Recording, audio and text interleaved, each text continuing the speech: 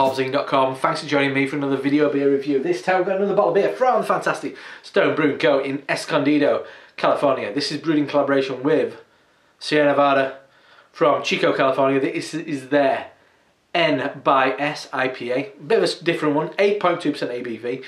It's a blend of two beers, um, one being a pale ale, which is dry hopped with Cascade, doffing of the cap to Sierra Nevada Pale Ale. The other one, an IPA, which has been barrel aged, barrel aged twice. First in, um, I think it's um, dry oak barrel, so I mean it's not wet with any liquor or anything. Then second, um, uh, the other half of it is um, barrel aged in uh, bourbon barrels that have been kind of inoculated with the uh, with gin type botanicals. So it's this weird kind of gin, gin and tonic bourbon IPA. um, so let's get this open. It's probably the best part of nearly two, three months old, but I mean, over here in the UK, you can you take what you can get really. But I was really excited to try this. If Chris Stelz gives it an A, it's good enough for Hopzine. Won't pour all of it. Just pop the cap back on. Two kind of behemoths, bastions of the West Coast craft beer movement. Really, probably the two most important ones for me, in my, in my eyes anyway. Beer in the glass, perfect pin bright um, golden beer. Off white heads, give it a swirl and sniff, check out the aroma. That's really nice. First thing that hit me was uh, mandarins and sweet orange, and then an, a hint of white pepper. Ooh, oak, nice oak. It's kind of a dry oak. It reminds me of toasted coconut, but not the sweetness of that. More the wood element of it. Lychee, mango. Excuse me. Going for another go. Yeah, grapefruit, lemon and lime zest, slightly kind of yeah, slight hint of salt. You are getting those gin botanicals for me getting that hint of that juniper and um, maybe maybe something like coriander. I nearly said cilantro for some bizarre reason. I know it's an American beer, but come on now, it's coriander. Anyway, it's a beer I can smell all day. It's it's concise in what it is. It's a it's a hoppy, it's a hopped up pale ale IPA hybrid. Nice amount of sweetness, but then a little bit of something else going on. Let's dive in. Cheers.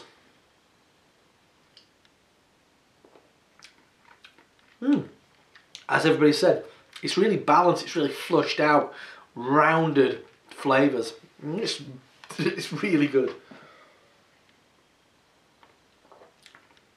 First off, bitter hops. And it's, it's grapefruit and mango. Um, sharpness of um, lemon peel, bit of lime zest.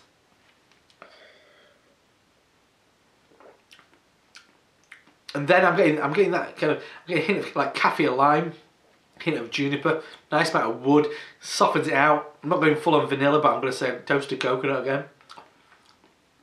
I mean, yeah, it's kind of it's gin and tonic. It's I'm not getting the bourbon to be honest, but that's no bad thing. That's why I guess with the and yeah, I don't know what that's meant to be adding, but I'm glad it didn't add too much. Yeah, there's definitely a herbal edge to it. Dry at the back end, really stripped out dry bitterness. Slightly floral, but more kind of um, lemon lemon peel. Definitely fresh lemon peel. Slightly earthy. Maybe a hint of apple peel.